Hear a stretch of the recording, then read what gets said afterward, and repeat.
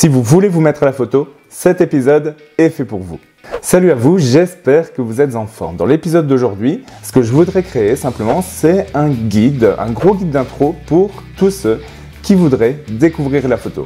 Des notions qui vous permettront d'approfondir vos connaissances, de mieux travailler et surtout de découvrir encore de nouveaux tutoriels, de nouveaux livres, etc. Plein de ressources qui sont à votre disposition très facilement. Ce guide, il est destiné à ceux qui veulent faire de la photo avec leur smartphone, mais ou aussi avec leur appareil réflexe ou tout autre type d'appareil numérique. Et ça m'amène justement au premier point avec quoi peut-on faire de la photo Donc on va commencer par distinguer un petit peu deux grandes catégories. Dans ces deux grandes catégories, la première, ce sont les appareils photo argentiques. Et ces appareils argentiques, ce sont des appareils qui, comme ceci par exemple, qui fonctionnent avec de la pellicule. Comme on est plutôt dans une chaîne Tech et que je suis aussi un grand passionné de technologie, ce n'est pas vraiment le type d'appareil dont je vais parler. D'autres vont faire ça bien mieux que moi. Mais je ne dis pas que ce n'est pas un domaine intéressant. Au contraire, travailler avec de l'argentique peut vraiment aider à ouvrir de nouvelles portes de créativité, à mieux comprendre la photo, etc. Mais moi, je vais plutôt parler d'appareils photo numériques. Et donc, du coup, dans ces appareils photo numériques, eh bien, vous avez quatre catégories qu'on retrouve actuellement. La première, ce sont les appareils photo dits compacts. Ce sont de petits appareils photo destinés plus ou moins à un usage familial. Ce marché est en baisse constante parce que les smartphones euh, s'équilibrent de plus en plus et pour certains modèles dépassent même euh, pas mal de compacts. Les smartphones deviennent de plus en plus capables en photo. Ils restent avec des ressources limitées, notamment en fonction de leur taille, mais tout un tas d'algorithmes et de petites astuces sont en train de monter progressivement les capacités en photo. Le plus gros avantage, c'est que vous l'avez quasiment toujours sur vous. Donc si vous vous baladez, que vous trouvez un beau spot, etc., vous n'aurez peut-être pas toujours votre réflexe sur vous, mais vous aurez votre smartphone. Ce qui fait que même si vous avez un réflexe, eh bien ces deux appareils peuvent être complémentaires. D'ailleurs, une petite précision, si vous travaillez sur smartphone ou sur iPhone, etc., la suite de la vidéo sur les réglages, etc., vous concerne également premièrement car c'est toujours mieux de savoir comment fonctionne l'appareil photo, ça vous permettra de mieux le maîtriser. Et deuxièmement, car des applications, que ce soit natives sur certains téléphones Android ou à télécharger ici, euh, comme ce cas-ci, sur l'App Store, vous permettront de faire vos réglages plutôt manuellement, de gérer les ISO, etc. directement sur votre smartphone. Maintenant, vous avez une deuxième catégorie qui comprend plus ou moins tout ce qui est compact expert ou des appareils dits bridge.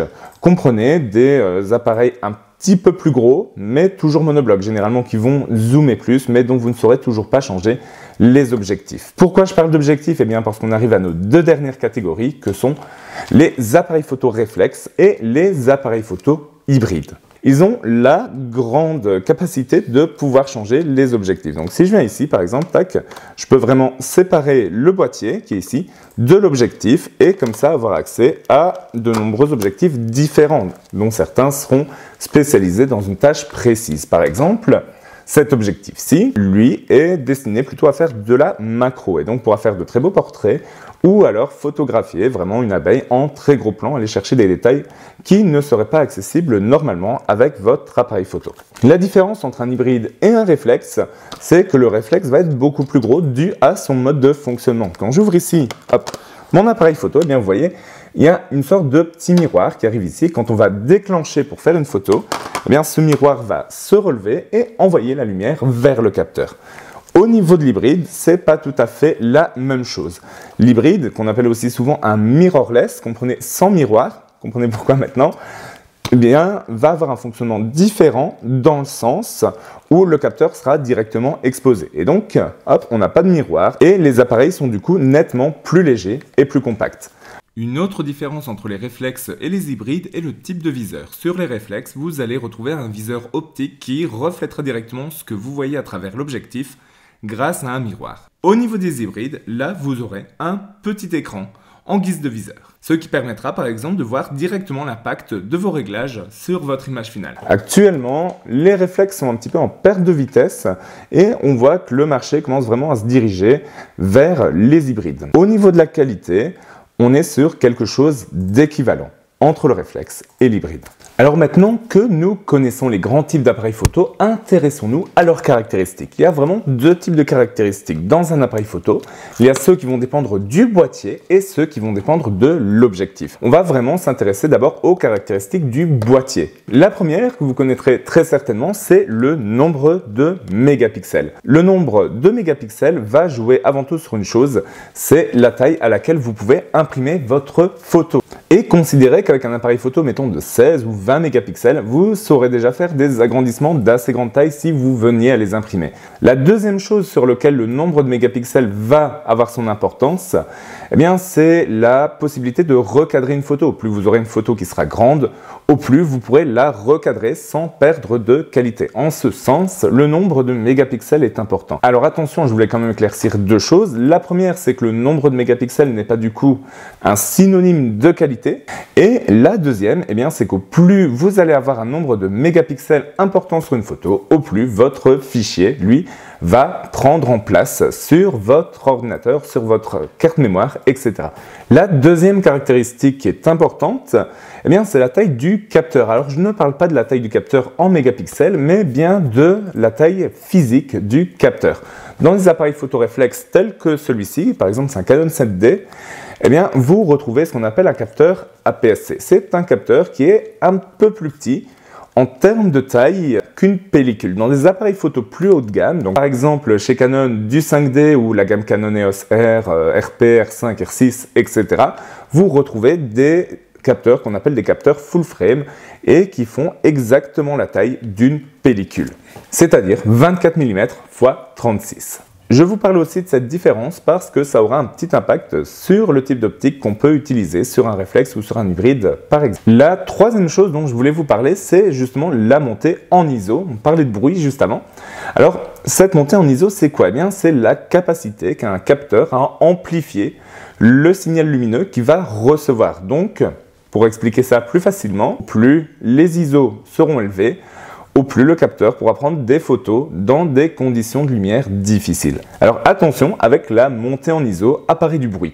C'est-à-dire qu'au plus vous allez monter la valeur ISO, au plus une sorte de grain va apparaître dans l'image et un petit peu dénaturer les contrastes, les couleurs, etc.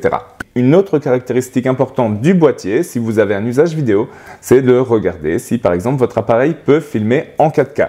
Alors attention, certains appareils vont un petit peu cropper l'image, si vous filmez en 4K et c'est le genre de caractéristiques qu'il faut prendre en compte. Enfin, il y a encore beaucoup de choses dont nous pourrions parler, la présence d'un stabilisateur par exemple, ou encore la capacité de la batterie. Mais je pense qu'on a été relativement à l'essentiel ici concernant cette partie. La dernière chose importante à prendre en main, eh bien voilà, c'est l'ergonomie du boîtier. Je pense que voilà, quand vous achetez un appareil, si vous voulez acheter plutôt un réflexe, un hybride, un compact expert, Prenez un appareil que vous sentez bien en main, avec lequel vous vous sentez à l'aise. Parlons maintenant des caractéristiques d'un objectif. Ici, par exemple, j'ai en main un 70-200 f4 de chez Canon. Alors, à quoi correspondent toutes ces informations? Eh bien, la première, 70-200, correspond à la focale. Au plus ce chiffre est bas, au plus vous êtes dans un grand angle. Par exemple, l'objectif qui est monté ici, c'est un 28-70 mm, eh bien c'est plutôt un objectif grand angle. C'est celui-ci, un 70-200, c'est plutôt un téléobjectif. Il va me permettre de beaucoup plus zoomer. La première valeur, c'est la valeur minimale. Ça veut dire que bah voilà, avec celui-là, je vais d'office déjà beaucoup plus rapproché qu'avec celui-ci. Et ensuite, bah voilà, quand je vais tourner le zoom, quand je vais tourner le zoom tout simplement, euh, je vais pouvoir aller vers la deuxième valeur qui est la focale maximale. Dans ce cas-ci, 200 mm. Tout à l'heure, je vous ai expliqué la différence de taille de capteur. Eh bien, il y a une petite nuance ici. Un 35 mm est toujours donné sur son équivalent sur un capteur 24 x 36, donc un capteur full frame, l'équivalent en taille d'une pellicule. Si on utilise un objectif sur une autre taille de capteur, par exemple tous les réflexes non full frame et tous les hybrides non full frame de chez Canon sont sur une taille APS-C, un petit peu plus petit, du coup 1,6 fois plus petit qu'une pellicule, et donc un 35 mm branché sur ce type d'appareil devient 50 mm. Et ça, il faut le savoir. Ensuite, vous avez une deuxième valeur, souvent précédée d'un F. Cette valeur, c'est ce qu'on appelle l'ouverture. Plus le nombre est petit, donc voilà 2 8 par exemple, ça c'est un petit nombre en termes d'ouverture, au plus l'ouverture va être grande. A l'inverse, au plus le nombre est grand, F11 par exemple, au plus l'ouverture va être faible. Cette ouverture, vous pouvez toujours la faire varier en la contrôlant sur le boîtier. Voilà, c'est ce qu'on verra un petit peu plus tard dans la vidéo. Par contre, l'ouverture maximale, F4 par exemple, F2 8, eh bien, ça, elle est définie par l'objectif. Sur certains autres objectifs, par exemple, vous pourriez avoir une ouverture qui est f4, 7 ou f3, 5, 5, 6, des choses comme ça. Ça veut dire que l'ouverture, elle ne sera pas constante. Et donc, dans ce cas, au plus vous allez zoomer avec votre objectif, au plus l'ouverture maximale aura tendance à diminuer. Donc, quand on choisit un objectif, par exemple pour un réflexe ou un hybride, c'est vraiment une des premières choses qu'il faut regarder. Vous avez encore quelques autres caractéristiques qui sont intéressantes, par exemple la présence de stabilisateurs. Ici, chaque constructeur, Canon, Sony, etc., propose ses propres abréviations. Par exemple, chez Canon, vous avez l'abréviation IS. Une autre caractéristique importante, du coup, c'est le type d'autofocus utilisé. Si rien n'est précisé, c'est qu'on est sur quelque chose de très standard. Cependant, certains constructeurs, je pense par exemple à Canon, ont des types d'autofocus un peu particuliers. Par exemple, la motorisation USM, qui assure de meilleures performances et qui fonctionne sur base d'un moteur ultrasonique. Petite chose à savoir, c'est au niveau de l'écosystème, c'est que bah, par exemple un objectif Nikon, vous ne pourrez pas le mettre sur un boîtier Canon. il existe quelques adaptateurs, etc. Je suis d'accord, mais en théorie, vous ne pouvez pas mettre un objectif Canon directement sur un boîtier Nikon et inversement. Par contre, et c'est là aussi où il faut faire attention, c'est qu'un même constructeur peut avoir différents types d'objectifs, différents types de montures. Et donc, quand on parle de la monture, on parle ici de la connexion entre cet objectif et l'appareil photo. Reprenons l'exemple de Canon, car c'est celui que je connais le mieux. La monture Canon EF d'actualité depuis les réflexes argentiques et est d'ailleurs compatible avec les trois autres types de montures. Pour la monture EFM et pour la monture RF par contre, les objectifs EF auront besoin d'une bague d'adaptation. Le Canon EFS est une monture qui est sortie du moment des premiers appareils photo numériques et qui est avant tout dédiée aux capteurs plus petits que le moyen format, au capteur APS-C chez Canon. La monture EFM est destinée aux hybrides grand public de chez Canon, tandis que la monture RF est la plus récente et est destinée aux hybrides un peu plus avancés de chez Canon. Par contre, un objectif à monture EFM n'est pas compatible avec un objectif à monture RF, et l'inverse est vrai également. Et maintenant que nous avons vu ensemble eh bien, les caractéristiques importantes des appareils photo et ce qu'on pouvait retrouver comme type de matériel, eh bien maintenant, on va vraiment s'intéresser à la photo. Et plus précisément à tous les points qui me semblent, à moi en tout cas, importants quand on fait de la photo, les choses auxquelles on doit prêter de l'attention, les choses qui nous permettent vraiment de transférer grâce à la photo ce qu'on imagine, ce qu'on veut représenter, etc., etc. Et donc, pour moi, il y a vraiment trois catégories de choses qui sont très importantes. La première, c'est la catégorie, on va dire, technique, avec les réglages de l'appareil, etc., pour faire les bons réglages, pour arriver vraiment à capter ce qu'on veut capter. Ensuite, eh bien, on a vraiment le côté composition, donc qu'est-ce que vous allez inclure dans votre image, comment vous allez guider le regard de la personne qui va la regarder, etc.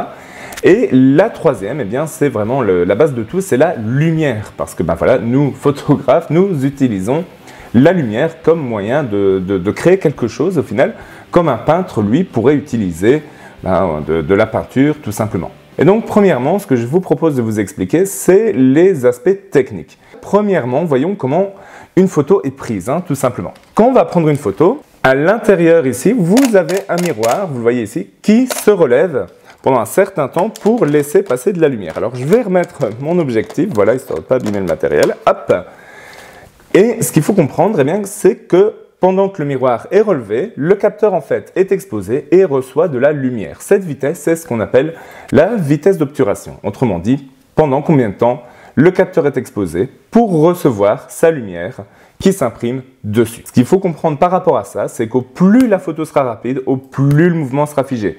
Mais en même temps, au moins vous recevrez de lumière. Ça paraît logique quand on y pense. Donc si vous voulez avoir un effet de traînée, etc., par exemple, voir afficher le, mouvement d'une voiture, les, phares, etc., sur votre photo, Eh bien, simplement, à ce niveau-là, il faudra jouer sur cette vitesse pour que la photo se prenne beaucoup plus lentement. À l'inverse, si vous voulez vraiment figer quelqu'un, eh bien, à ce moment-là, vous devrez partir sur une vitesse d'obturation beaucoup plus rapide. Attention, votre vitesse, généralement, vous devez au moins être à 1 sur votre focale. Donc, par exemple, si vous shootez au 50 mm, on a vu ce qu'était la focale juste avant, eh bien, il faut que vous soyez à 1 cinquantième de seconde pour la vitesse. Cette vitesse, elle est vraiment exprimée du coup en secondes, voire souvent en centièmes, voire en millièmes de seconde. Donc comprenez, si vous voyez un deux centième, il s'agit d'un deux centième de seconde. Si vous shootez à des vitesses beaucoup plus lentes, vous aurez besoin de stabiliser votre appareil sur un trépied. Parce que, bah voilà, si je prends une photo en une seconde, ma main elle va un petit peu bouger, etc. Et donc l'ensemble de votre photo sera flou. Ça explique aussi pourquoi certaines de vos photos sont floues dans l'obscurité. La deuxième notion, du coup, c'est la notion d'ouverture. C'est ce qu'on a expliqué juste avant avec les objectifs. Et donc, cette ouverture, vous pouvez aussi la régler. Donc, pour rappel, f2.8, grande ouverture, f7, f8, f9, petites ouvertures, f22, très petites ouvertures. Au plus l'ouverture, du coup, sera grande, hein, f2.8, au plus votre sujet va se détacher de l'arrière-plan et donc va créer euh, ce qu'on appelle cette petite profondeur de champ, ce qu'on appelle aussi bouquet au plus vous travaillerez sur une ouverture petite, f11 par exemple, au plus l'arrière-plan sera net par rapport à votre sujet. Mais encore une fois, ça se fait au détriment de la lumière. Et donc cet équilibre vitesse d'obturation et ouverture va vraiment créer l'exposition de votre photo. Vous, l'intérêt maintenant, ça va être de pouvoir utiliser des modes qu'on verra sur l'appareil photo qui sont ici. Hop, voilà, je vais essayer de vous les montrer. Hop. Ici, vous avez une petite roue de sélection et dans cette petite roue de sélection, vous allez par exemple pouvoir choisir chez Canon entre les modes M, AV, TV ou P. Ces modes-là vous permettent de contrôler ces paramètres. Le mode M, par exemple, vous permet d'être totalement libre sur l'ouverture et la vitesse d'exposition. Et donc, du coup, ben, ça pourrait être pas mal pour tester un petit peu les deux paramètres et voir un petit peu leurs effets. Par contre, les modes que j'utilise moi, souvent en shoot, sont les modes AV et TV. Pourquoi? Parce que je vais pouvoir choisir le paramètre qui m'intéresse. Par exemple, je fais un portrait, j'ai envie d'isoler par rapport au fond. Je prends une grande ouverture, je la choisis et l'appareil va automatiquement adapter la vitesse en fonction de la luminosité ambiante. Et donc, bah voilà, je vais pouvoir contrôler sans faire trop d'erreurs puisque c'est l'appareil qui va choisir l'autre paramètre à ma place en fonction de ce qu'il a calculé.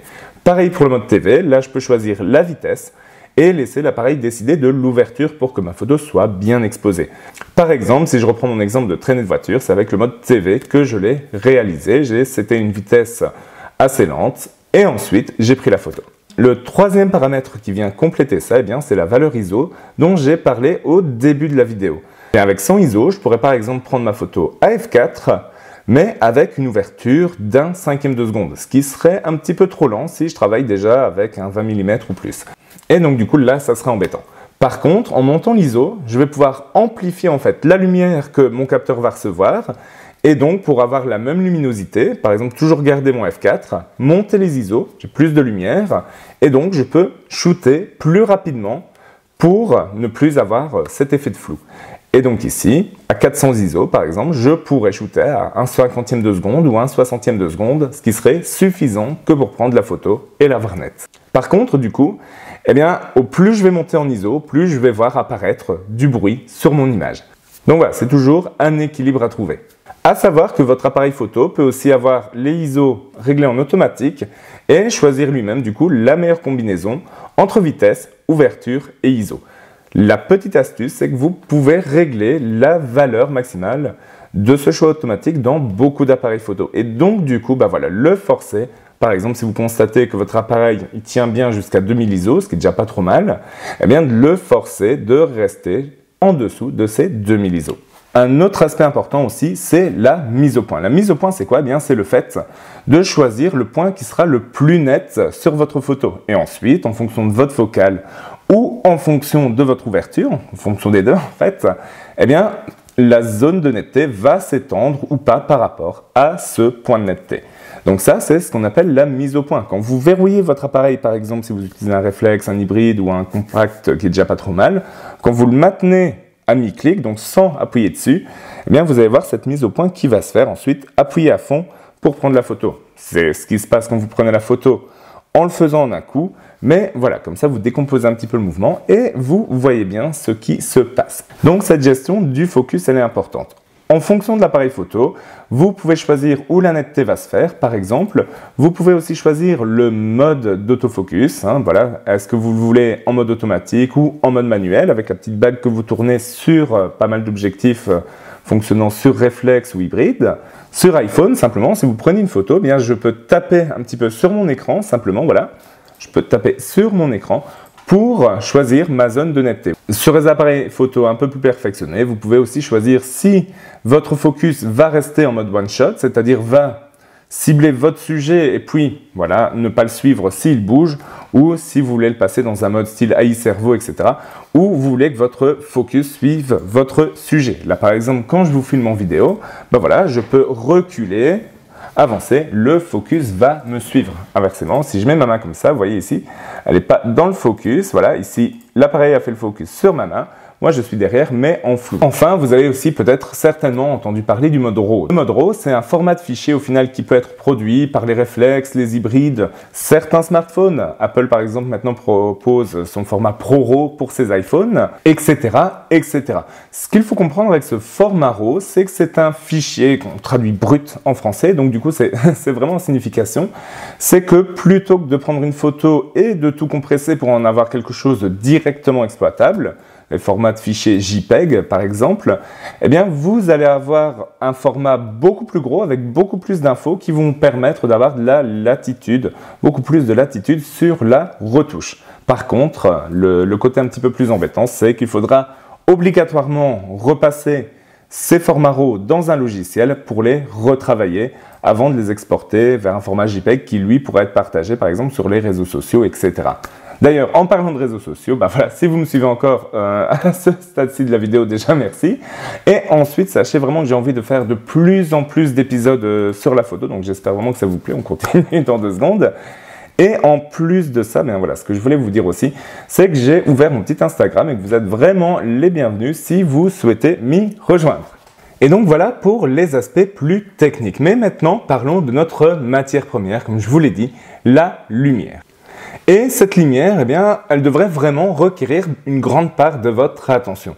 La première chose à savoir, c'est qu'est-ce qu'une bonne lumière au final? C'est une grande source, voilà, de grande taille, qui a une belle direction par rapport euh, au modèle. Par exemple, si vous faites de la photoportrait, donc voilà quelque chose d'un petit peu plus rasant, de, pas une lumière qui arrive ici directement comme ça, droit depuis le plafond, ou par exemple pas une lumière qui arrive directement de front par rapport à votre objectif. Voilà, quelque chose d'un petit peu plus euh, un petit peu plus latéral, d'un petit peu plus élevé, voilà, d'un petit peu plus rasant, va donner un meilleur résultat sur le rendu, sur les ombres, etc.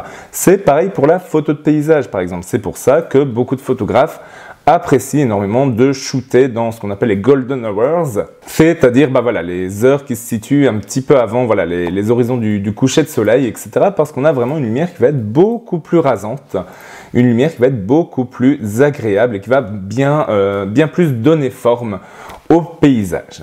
Et donc voilà, la taille de la lumière va jouer donc sa direction, mais aussi sa couleur. Et enfin, la troisième grande catégorie de choses à laquelle il faut faire attention, eh bien c'est le côté composition. Autrement dit, comment vous composez votre image, qu'est-ce que vous mettez dedans, qu'est-ce que vous en excluez, etc., etc.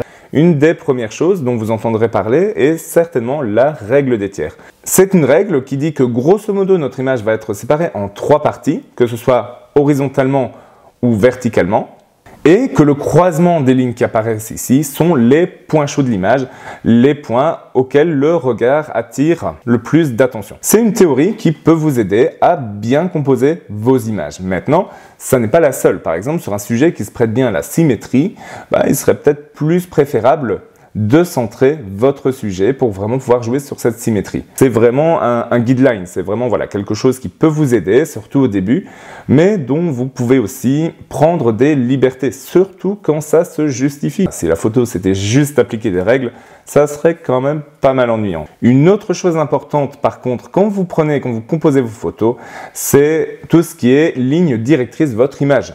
Il faut comprendre par là que tout ce qui va former des, grandes lignes, euh, etc., dans votre image, va vraiment guider sa lecture. Donc par exemple, dans cette image-ci, ce que vous voyez, eh bien voilà, la lecture, toutes les lignes amènent vraiment vers le sujet. Donc voilà, c'est vraiment quelque chose avec quoi il faut apprendre à jouer, ça donne souvent des résultats intéressants. Une chose essentielle quand vous pensez à la composition aussi, c'est la focale que vous utilisez. Avec un téléobjectif, par exemple, vous pouvez sélectionner qu'une seule partie de l'image à intégrer. Ou à l'inverse, avec un grand angle, vous pouvez montrer une globalité. Donc voilà, tout ça est intéressant et doit vraiment faire partie de votre réflexion. Qu'est-ce que je veux montrer? Comment je veux le montrer? Qu'est-ce que je veux voir dans l'image? Qu'est-ce que je ne veux pas voir dans l'image? Tout ça sont des questions à se poser. Et enfin, essayez de garder une certaine notion d'équilibre dans votre image pour que le tout soit harmonieux. Voilà, essayez de disposer vos objets de façon à ce que l'image ne penche pas au final d'un côté. On a vraiment beaucoup de styles photographiques différents. Vous avez le portrait, vous avez le paysage, urbex, macro, tout un ensemble de styles de photos qui ont aussi chacun leurs propres astuces, leurs propres règles, leurs propres conseils, etc. etc. Si vous n'êtes pas encore spécialisé dans quelque chose, que vous venez de commencer, etc., essayez de shooter un petit peu de tout ce que vous voulez, apprenez-en plus sur le portrait, le paysage, apprenez-en plus vraiment sur la globalité au final. De toute façon, ce que vous apprenez sur le paysage pourra souvent se réappliquer sur le portrait ou avoir quelque chose qui, fait référence. Vous ne perdez pas votre temps, apprenez-en un maximum. Et avec la pratique, il y aura peut-être un style qui va se dégager plus que l'autre, quelque chose que vous aimerez plus photographier. Et donc tout ceci concerne vraiment le moment où vous prenez la photo. Forcément, il y a encore beaucoup, beaucoup, beaucoup, beaucoup d'autres choses à comprendre, ça je peux vraiment vous l'assurer. Mais attaquons maintenant la dernière partie du processus qui est plutôt le traitement. Donc quand vous travaillez sur du numérique, le gros avantage là-dessus, c'est que vous pouvez reprendre les fichiers et les retravailler. Surtout si vous bossez en RAW, c'est un processus indispensable.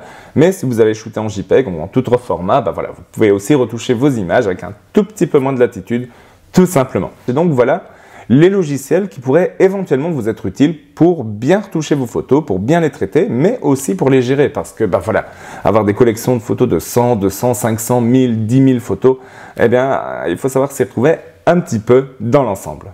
Premièrement, vous connaissez certainement moins de nom Photoshop. Photoshop vous permet de créer tous des photomontages, des retouches photos plus avancées, etc. Vous savez vraiment tout faire avec Photoshop. Une alternative assez connue aussi et libre et gratuite, eh bien c'est GIMP. GIMP, c'est vraiment un équivalent gratuit et libre à Photoshop, quoi qu'il en soit. Si vous voulez en découvrir un petit peu plus sur ces deux logiciels, je vous propose deux tutoriels d'initiation sur ma chaîne. Un autre type de logiciel est plutôt un logiciel du style Lightroom ou Lightroom classique.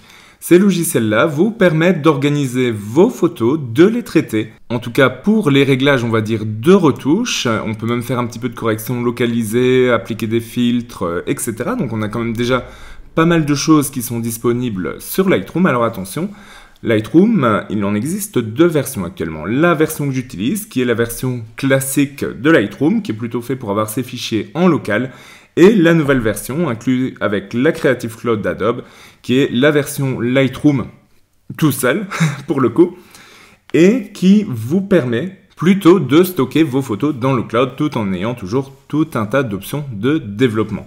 Ce type de logiciel est intéressant parce qu'il vous permet vraiment voilà, de collectionner, de trier vos photos, etc. et permettra une façon très rapide de convertir des RAW en format JPEG.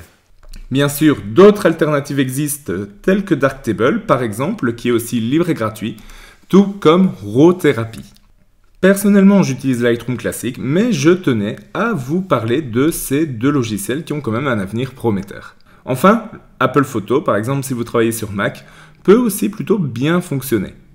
Il existe bien sûr encore de très nombreux logiciels qui vous permettent de faire tout ça. Et voilà, on touche maintenant à la fin de ce guide pour débuter en photographie. J'espère en tout cas que ça vous aura été utile, j'espère vraiment que ça vous permettra d'être une première marche sur laquelle bah, commencer, sur laquelle vous pourrez évoluer. J'espère maintenant que vous savez bah, voilà, les, les, termes importants, que vous n'allez pas être perdu dans un tutoriel, etc. C'était vraiment l'objectif de cette vidéo. Bien sûr, bien sûr, il y a vraiment énormément de, choses à apprendre sur la photo. C'est vraiment aussi un domaine dans lequel vous pouvez en apprendre tous les jours et c'est ça qui, qui rend les choses passionnantes au final. Et donc, ben voilà, moi je suis super content en tout cas de vous avoir parlé de photos parce que c'est vraiment un sujet qui me passionne aussi de, bah, depuis tout petit. C'est vraiment quelque chose que j'adore aussi, que j'aimerais, que, je vais faire de, plus en plus d'ailleurs. Donc voilà, si le, sujet vous a plu, bah, surtout faites-le moi savoir, ça, me fera vraiment super plaisir. Si un sujet vous intéresse plus particulièrement, bien dites-le moi dans les commentaires. Si vous avez encore des questions, etc., ça sera vraiment un plaisir de refaire des vidéos sur ce sujet. Moi, je vous retrouve très bientôt pour une nouvelle vidéo.